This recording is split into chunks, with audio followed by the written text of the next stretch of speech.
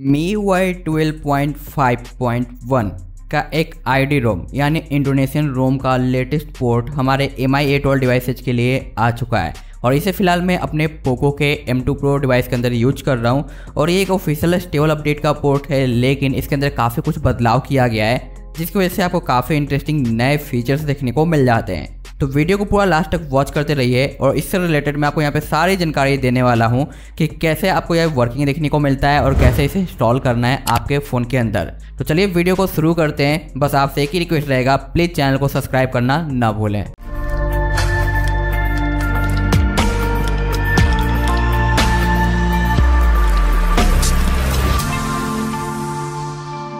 यहाँ पे आपको बाय डिफ़ॉल्ट देखने को मिल जाता है सुपर लाइव वॉलपेपर इनेबल तो इसकी वजह से मे बी आपके फ़ोन के अंदर हल्का फुल्का स्लो फील हो सकता है।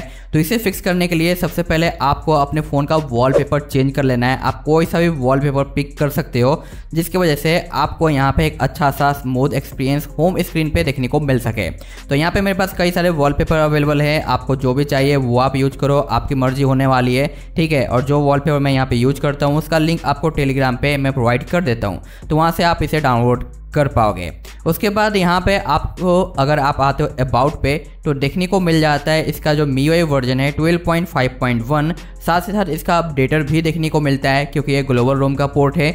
और व्हाट्स न्यू पे टैप करने के बाद जो ग्लोबल का चेंज लोग आता है ना, वो भी आपको यहाँ पे देखने को मिलता है। जिसके अंदर नोट्स में काफ़ी कुछ बदलाव किया गया था, और साथ साथ यहाँ पर रिसेंट वगैरह को काफ़ी ज़्यादा इंप्रूव किया गया है, जिसकी वजह से आपको मी काफ़ी ज़्यादा फास्टर वगैरह देखने को मिले।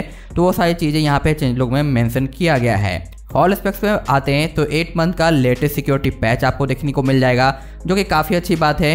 और ऑफिशियल एंड्रॉयड 11 यहाँ पे आपको दिखाई देता है स्पोर्ट के अंदर। और पोको M2 Pro के लिए हाल फ़िलहाल में एंड्रॉयड 11 का अपडेट आया था, जिसमें मैंने पूरा डेडिकेटेड वीडियो दिया था।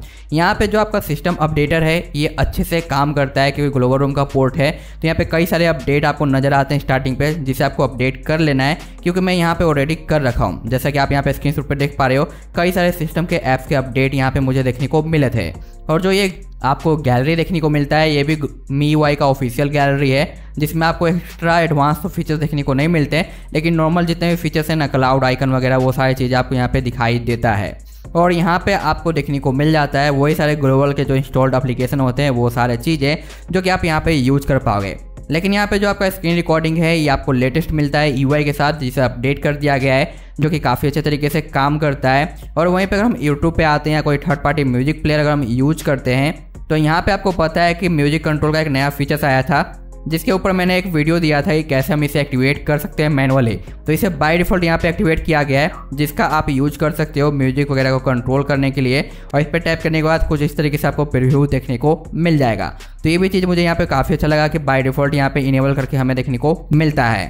अगर यहाँ पे टैप करें तो एडिट पे आने के बाद आपको कुछ एक्स्ट्रा ऑप्शन देखने को मिल जाता है। एनएफसी का भी ऑप्शन है, जो कि हमारे पोको एम टू तो नहीं है, लेकिन जो ग्लोबल डिवाइस है हमारे नोट नाइन सीरीज़ का, उसके लिए एनएफसी है। तो इसका एक पैच दिया गया है, जो कि आई थिंक उसे यूज़ करने के बाद आपका वर्किंग रहेगा बट मैं हंड्रेड परसेंट श्योर नहीं हूँ। वहीं पे सेटिंग की ओर इन करते हैं तो आपको यहाँ पे ऑलवेज ऑन का सपोर्ट मिल जाता है। तो अगर हम अपने फ़ोन को लॉक कर दें तो यहाँ पे आपको ऑलवेज ऑन देखने को मिलता है। बट मैं रिकमेंडेड नहीं करूँगा किसी भी डिवाइस में ऑलवेज ऑन यूज़ करने का, क्योंकि हमारा भाई अमोलेट तो है नहीं तो आपको बैटरी ट्रेंड ज़्यादा देखने को मिलेगा। तो इसका यूज़ ना करें। डिस्प्ले के अंदर वही सारा आपको कॉमन फीचर देखने को मिल जाता है साउंड में भी वही आपको देखने को मिलेगा। अगर आप इसे पोको के एम टू प्रो डिवाइस के अंदर डालते हो तो यहाँ पे आपको पोको का लॉन्चर नहीं मी का लॉन्चर मिलता है, जो कि काफ़ी ज़्यादा एडवांटेज आपको मिल जाता है। मी के कस्टमाइजेशन देखने को मिल जाएँगे और बाकी सेटिंग्स वगैरह, यहाँ पे अरेंज कर सकते हो आप रिसेंट को वर्टिकल वगैरह हॉरिजेंटल वगैरह। लेकिन वहीं पर अगर एनिमेशन की बात करें ना तो काफ़ी हद तक यहाँ पे एनिमेशन को डिसेबल रखा गया है, ताकि आपका फ़ोन यूज़ करते समय एक अच्छा सा एक्सपीरियंस प्रोवाइड कर सके। जैसे कि आप देख पाओगे यहाँ पे अगर मैं इसे अनलॉक करता हूँ तो कुछ खास यहाँ पे एनिमेशन नज़र नहीं आता। तो ये सेम प्रॉब्लम आपको नोट 9 प्रो प्रो मैक्स और नोट 9s के अंदर भी देखने को मिलेगा। बाकी यहाँ पे बैटरी एप्स एडिशनल सेटिंग्स वगैरह देखने को मिलेगा। जहाँ पे इंडिया लैंग्वेज है और बाकी जो भी लैंग्वेज आपको चाहिए, वो आप यहाँ पे यूज़ कर सकते हो। यहाँ पे आपको देखने को मिलता है डिजिटल वेलविंग क्योंकि ग्लोबल वाले और इंडियन वाले में डिजिटल वेलविंग ही नज़र आता है। बाकी में हमें फोकस मोड वगैरह देखने को मिलता है। स्पेशल फीचर्स में वीडियो टूल बॉक्स फ्लोटिंग और एज कंट्रोल किसी काम का है नहीं। तो इसे आप इग्नोर करो। और रही बात गेम टर्बो और वीडियो टूल बॉक्स में क्या नज़र आता है तो आ जाते हैं गैलरी की ओर। और यहाँ पे आप देख सकते हो, ये रहा हमारा वीडियो टूल बॉक्स जो कि सेम है, जिसमें कुछ खास बदलाव नज़र नहीं आता। और अगर हम बात करें गेम टर्बो की तो गेम टर्बो आपको किस तरीके से दिखाई देता है तो उसके ऊपर भी एक नज़र डाल लेते हैं। ये रहा हमारा गेम टर्बो और यहाँ पे आपको है जो देखने को मिलता है टाइमर का फीचर्स, लेकिन वॉइस चेंजर का फीचर्स यहाँ पे अभी तक आया नहीं है, क्योंकि ऑफिशियली एक्टिवेट नहीं हुआ है और ये ऑफिशियल बेस रोम है, जिसकी वजह से यहाँ पर आपको दिखाई नहीं देता तो थोड़ा टाइम लगने वाला है। तो ये चीज़ें आपको यहाँ पे देखने को मिलेगा। रही बात परफॉर्मेंस कैसा निकल के आता है तो उसके ऊपर भी एक नज़र डाल लेते हैं और यहाँ पे इसका बूट एनिमेशन लेटेस्ट वाला प्रोवाइड किया है। तो ये भी आपको एक एडवांटेज देखने को मिलेगा। तो हर बार की तरह यहाँ पे जीपीयू को अलग से डाउनलोड किया है अन टू टू ने, और यहाँ पे स्कोर काफ़ी कम आया है तो इसे आप इग्नोर करके चलो। लेकिन ये है सीपीयू टोटल रिज़ल्ट जो कि 95 का है। विदाउट गेम टेबल के अंदर ऐड किए हुए तो ये चीज़ मुझे काफ़ी ज़्यादा यहाँ पे सही लगा है। और एल का सपोर्ट आपको मिल जाएगा, जो कि अच्छी बात है। और दोबारा मैंने इसे गेम टेबल के अंदर ऐड किया, उसके बाद यहाँ पे परफॉर्मेंस डाउन हो गया एटी का तो नॉर्मली काफ़ी अच्छा काम कर रहा है, जबकि ऐड करने के बाद उतना अच्छा देखने को नहीं मिला।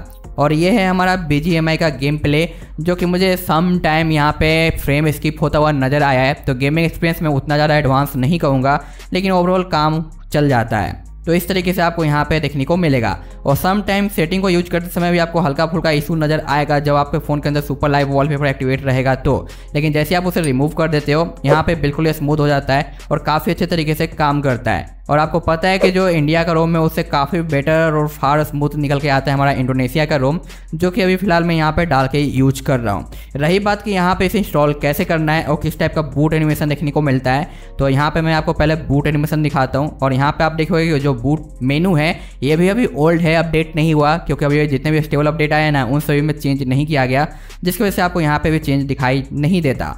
तो एक बार री करते हैं।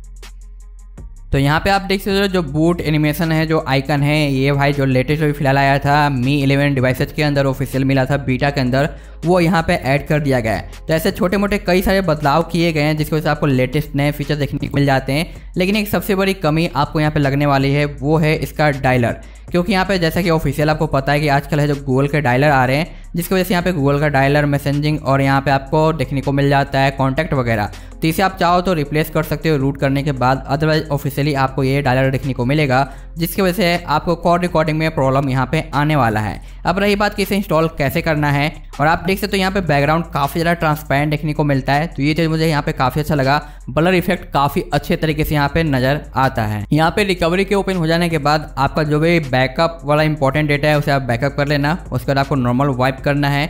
आप चाहो तो वाइप को इग्नोर भी कर सकते हो। उसके बाद आपके पास जो भी डिवाइस है Poco M two pro Redmi का नोट नाइन एस या प्रो या मैक्स उसका एफ़ डब्ल्यू डाउनलोड करना है लेटेस्ट जो कि एंड्रॉयड 11 का होगा।